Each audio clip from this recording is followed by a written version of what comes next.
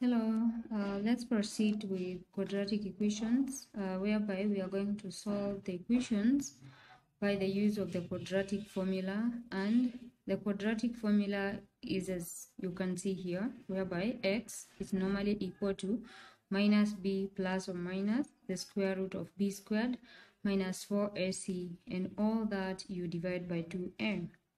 So once you know the quadratic formula, another thing to always remember is the quadratic equation, the way that expression uh, looks like. And as we earlier mentioned, a quadratic equation is any expression of this format, of this form, ax squared plus bx plus c is equals to 0. So from this quadratic uh, equation, this is where we are going to get the value for A, the value for B, the value for C, and then we use those three values to solve the equation using the quadratic formula. And as you can see, here we have A, we have B, and we have C. So once you know these values, the value for A, the value for B, the value for C, just go to your quadratic formula and just insert where you have a with its value where we have b with its value and where we have c with its value and then you can solve. But one thing that i uh, that i'll keep on emphasizing is when you uh, encounter some negative signs somewhere please pay much attention because once you forget just one negative sign then that one for that one is a guarantee that you won't get that question that question right and questions like these ones which have a formula already they are the easiest ones. So you should always aim at, at getting all of them right especially the ones that have formulas. So for instance if we had this one as let's say x squared minus x plus 2 is equals to 0 as you can see where we have the value for b we have a negative sign and from this equation, the value for b, you ask yourself what is the coefficient for that x. The coefficient for x, you can't see anything, but we have a 1 somewhere there. So that's the coefficient for x and that's the value for b. And it should accompany its negative sign. So the negative sign shouldn't be left behind. So our b is equals to negative 1. And when we are, you are inserting it in the quadratic formula, you will have your x is equals to minus and then another minus. Please remember that because these are the end it will now change to a positive one. And then you can continue with the others. Um, let's now look into some examples. We are starting with example number one. Example number one x squared minus 6x minus 7 is equals to 0. So the first thing is to identify the value of A, the value of B, and the value of C. Our value of A is equals to 1, right? What is the coefficient of x squared? That is the value of A. What is the value of B? Is the coefficient of x. And please don't forget the negative sign. So B is equals to negative 6, while C is equals to negative 7 and our quadratic formula x is equals to minus b plus or minus the square root of b squared minus 4ac then all this we divide by 2a therefore x is equals to minus b minus the value for b is has a negative sign already. So we'll have negative 6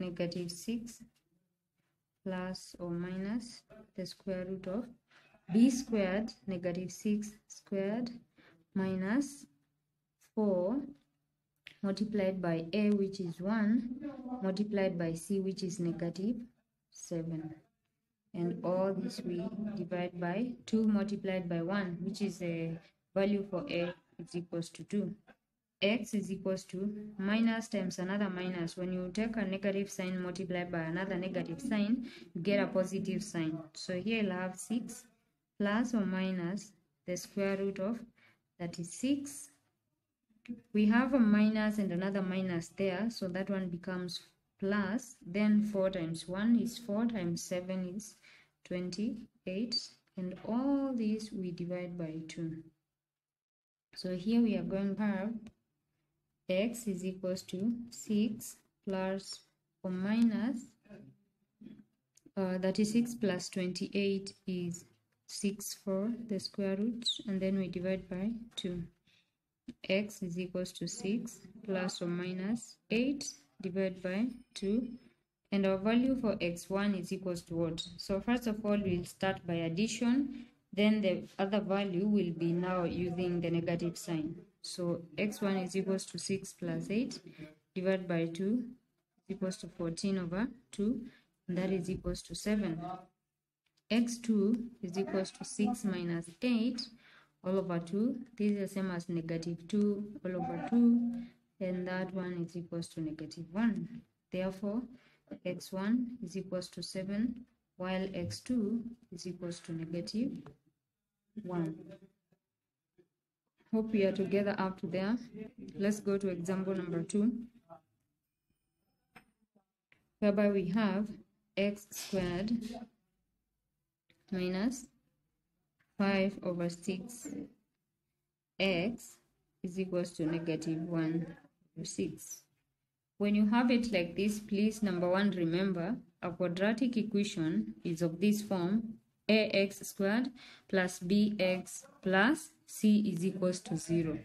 So we have to make sure that this equation is being equated to 0. And to make that one happen, we have to do it like this. We have x squared minus 5x 5 over 6x and then now we bring negative 1 over 6 now to the other side to join these others and this one turns to plus 1 over 6 and then we equate to 0 then we follow just the, the the normal way of what is the value of a what is the value of b. The value of a is 1 the value of b is negative 5 over 6 and the value of c is equals to 1 over 6 so whenever we have a negative sign please always pay much attention because if you happen to forget the negative sign then it means you will end up getting a wrong answer and if you want to get it right please pay attention.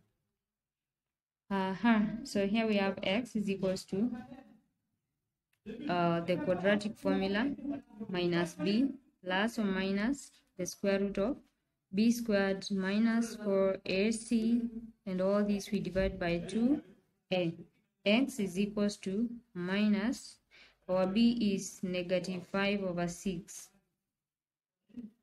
plus or minus the square root of 5 over 6 negative squared minus 4 multiplied by 1 multiplied by 1 over 6 1 over 6 and all this we divide by 2 multiplied by 1 is 2 so this is going to be like this. We will have x is equals to we had a minus and then into brackets minus 5 over 6 so that becomes 5 over 6 then plus or minus the square root of negative 5 over 6 squared that is 25 over 36 minus 4 over 6 you can even simplify and you will have 2 over 3 all this we divide by 2 this is the same as 5 over 6 plus or minus the square root. Now we have to subtract 25 over 36 minus 2 over 3 the LCM of 36 and 3 is 36 right? 36 divided by 36 is 1 multiplied by 25 is 25 minus 36 divided by 3 is 12 hope we are together 12 multi, uh, multiplied by 2 is 24 and we divide by 2 x is equals to 5 over 6 plus or minus 25 minus 24 is 1 all over 36 divided by 2 okay? And what is the square root of 1 over 36? The square root of 1 over 36. So our x is equals to 5 over 6 plus or minus 1 over 6 divided by 2. To get the two values of x, we start with the first one whereby we have to add the 2 and now the second value we subtract. So x1 is equals to 5 over 6 plus 1 over 6. This is equals to, oh, and we divide by 2, sorry. Uh, 5 over 6 plus 1 over 6 is equals to 6 over 6 and then we have to divide by 2. 6 over 6 is the same as 1, right? And therefore, there we have 1 over 2. x2 is equals to 5 over 6 minus 1 over 6 divided by 2. This is the same as 4 over 6 divided by 2. Nothing has changed. 4 over 6.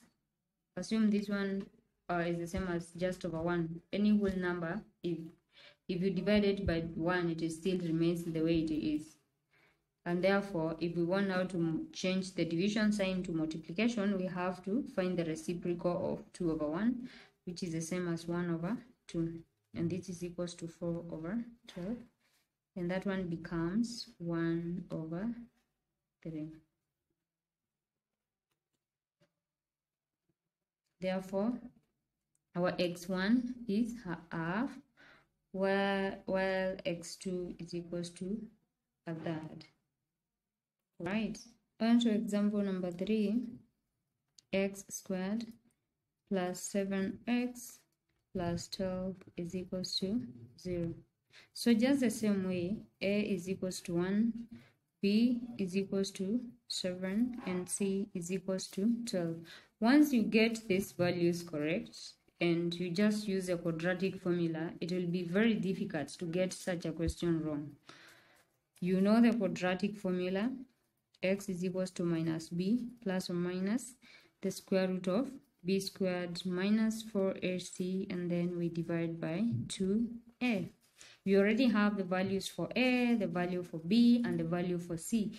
So it's just going to the formula and then we substitute the values for A, the value for A with 1, for B with 7, and for C with 12 is equals to minus, B is 7, plus or minus the square root of 7 squared, minus 4 multiplied by 1 multiplied by 12, and then we divide by 2 times 1 is just 2. x is equals to minus 7 plus or minus. Please don't forget about the negative. Always pay much attention. Minus 7 and this negative sign is coming from where? It's coming from the quadratic formula, which always has a negative b, then plus or minus, and then it goes like that. Then uh, here we have 49 minus 48, right? 4 multiplied by 1 multiplied by 12, it's 48, divided by 2. x is equals to minus 7 plus or minus 1, right? 49 minus 48 is 1 and the square root of 1 is 1. So here we'll have uh, x is equals to minus 7 plus or minus 1 all over 2. So to get the two values of x, starting with x1, we will have minus 7 plus 1 divided by 2, and this is equals to what? What is negative 7 plus 1? That's negative 6 all over 2, and then that one becomes negative 3 x2 is equals to negative 7 again but now we use the minus minus 1 all over 2 this is equals to minus 7 minus 1 hmm? minus 7 minus 1 that's minus 8 divided by 2 and that one is equals to negative 4 therefore our x1 is equals to negative 3 while our x2 is equals to negative 4. Example number 4, we have 18x squared plus 9x is equals to 2. When you see such a question, please, the first thing uh, is to remember how does a quadratic equation look like? quadratic equation looks like this ax squared plus bx plus c is equals to 0 does the above uh, equation look like that? No but we can transform it to look like the quadratic equation. And how do we do it? We'll have 18x squared plus 9x and then we bring now 2 to the other side to join the others and then it becomes minus 2 and we equate with 0 do they look the same? Yes or no? They do. So once you match them uh, now remember from your quadratic uh, formula you need the value for a you need the value for b and you need the value for c right? So our a is equals to 18 our b is equals to 9 and our c is equals to negative 2 our quadratic formula is x x is equals to minus b plus or minus the square root of b squared minus 4ac and then all these we divide by 2a please remember 2a covers everything divides everything that is up above it. X is equals to and don't forget the negative sign so we have minus b the value of b is 9 we have negative which is coming from the quadratic formula then 9 plus or minus the square root of b squared 9 squared minus 4a multiplied by c. And then all these we divide by 2 multiplied by a. Hope we are together up to there i hope so. Okay. Then we proceed like this. We continue with x is equals to minus 9 plus or minus the square root of 9 multiplied by 9 or 9 squared is 81 minus 4 multiplied by 18 multiplied by 2 that one multiplied by a negative 2 a negative sign multiplied by another one becomes positive. So here we have this as plus then 144 we divide by 2 multiplied by 18 that's 36 x is equals to minus 9 plus or minus square root of what is 81 plus 144 that should be 225 divided by 36 x is equals to minus 9 plus or minus what is the square root of 225 do you know it right it's 15 all over 36 right?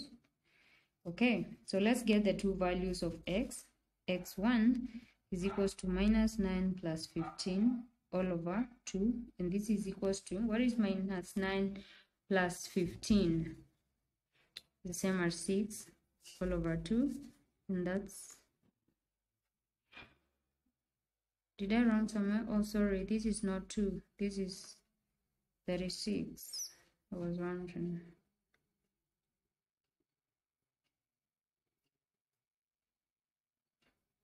So now we can get the two values of x. Uh, we start by x1 is equals to minus 9 plus 15. Then we divide by 36.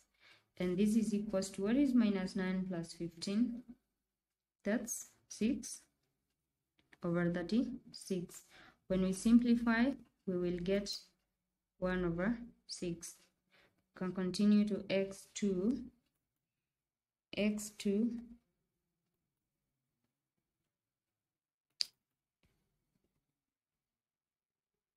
now the value for x now the value for x2 which is equals to minus 9 minus 15 all over 36 and this is equals to minus 9 minus 15 that's negative 24 all over 36 can we simplify?